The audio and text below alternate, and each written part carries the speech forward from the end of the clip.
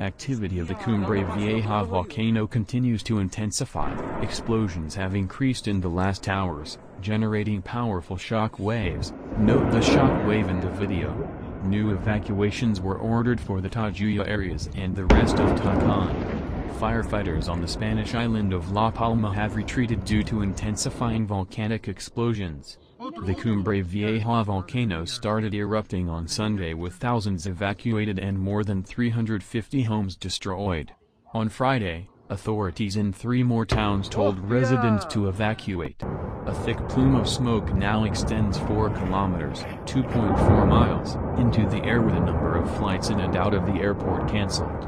No fatalities have been reported. Volcanic activity increased on Friday and Spanish media is reporting that a new vent has opened up, causing lava to flow. A social media post from the La Palma Fire Service said firefighters have withdrawn from the area due to the intensification of explosive phenomena. The firefighters had been conducting preventative work in Todoque neighborhood. Some 1,000 people in Tajuya, Tacande Abajo and Tacande Arriba were told to evacuate on Friday due to the intensifying volcanic activity.